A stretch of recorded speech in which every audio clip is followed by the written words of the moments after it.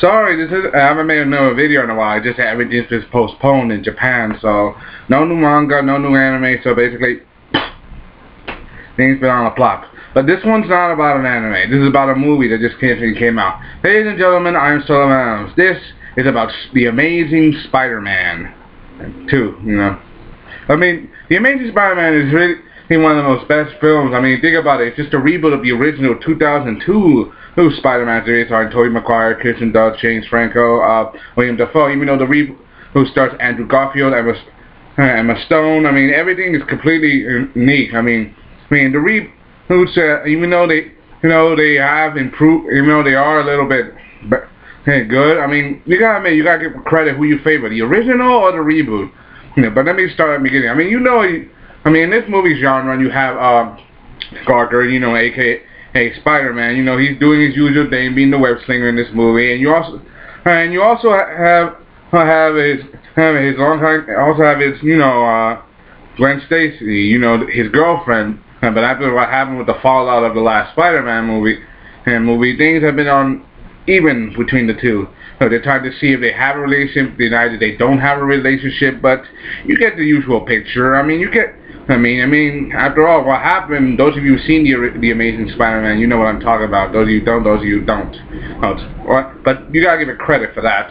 And But there's also other instances in the movie. For example, Peter gets to see his old, his old, his old friend, Harry Osborn, and things are very condescending right now between them, because because apparently Harry, Harry just became leader of Oscorp after what happened with Doc Ock, with. You know, with Dr. Curtis Connors at the half and the death of his father, Norman Osborn. Things have been things right now are so done are so uneven because apparently Harry Osborn is dying. He doesn't want to answer like his dad. He said, and things are even a little uneven and between him and Peter. But things are starting, but things start to get even worse in this movie because you get had Max Dillon, aka played by Jamie Foxx, who suddenly gets involved into an electrical accident and becomes this electrical, becomes the ability to control electrical devices and electricity, aka Electro. This movie he has both action, drama, and a bit funny. You know how Spider-Man, he's always been goofy, you know, he was always funny, and trying to make light of the situation. That's his personality. Yeah, and Andrew Garfield plays that to a T, like Tobey Maguire did with the original three, like the first Spider-Man movie. And and you gotta give this credit for that. And Spider-Man, even though oh he's a hero, he's also a man. I mean, he also has to make sure that he doesn't make any kind of mistake. That if he does, people's lives literally depend on it. I mean, and Spider-Man man is a good show, a good is a good movie and a good series.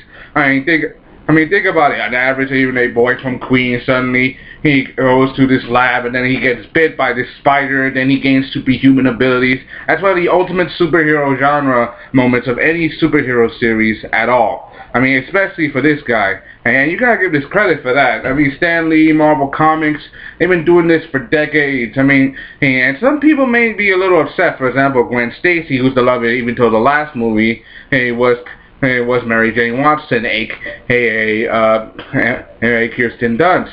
But she, but Emma Watson is a love interest. The same thing.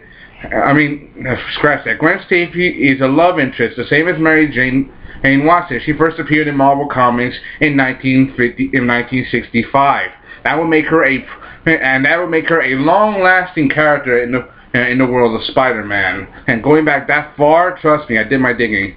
And she, I mean, and things are very, very unique between them. And, and you gotta admit, their relationship, even though here is a superhero and Gwen is a scientist, it's also, it's also a very stemming relationship when you and a woman. And comparing the Amazing Spider-Man reboot movies to the original, you gotta give it at least some credit. I mean, this, both movie, all, all, all five movies, they do entertain you, and they keep giving you each moment. I mean, the first, the first Spider-Man movie and and the and the Amazing Spider-Man. I mean, they and they both started out kind of the same, but a little differently. A boy goes to a lab, and he gets bitten by a spider and becomes a superhero and gains amazing abilities.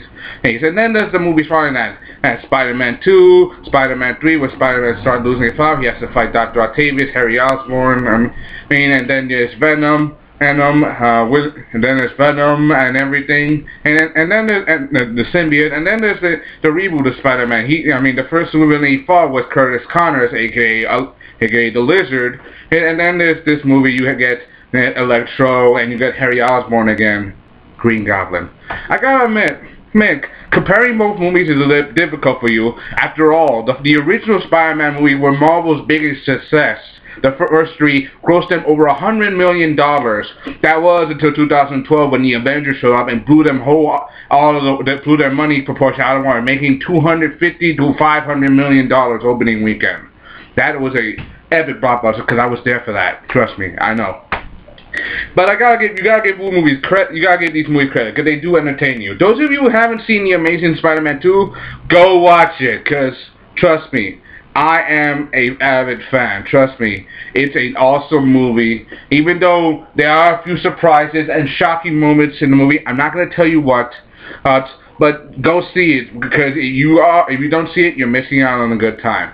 Also, not to mention the fact that if I were the best, which is the best super villain, I would choose between uh, the Green Goblin and Venom because the Green Goblin was a you know like Spider-Man has enhanced abilities, capabilities, weapons, and he ain't to literally destroy and rip apart everything he has. Of course, there's also Venom, who's basically Spider-Man's literally dark half, the symbiote that bonds with Eddie Brock, aka Venom. Venom, who copied Spider-Man's DNA, cloned it, knows all his dirty little secrets, and like Norman Osborn, ain't afraid to rip about anything. And he does have one advantage. He can disable Peter's spider sense. It doesn't register on him. And because he was attached to him, literally duplicated his DNA. I gotta ask, which is the better Spider-Man, Tobey Maguire or Andrew Garfield? Your choice.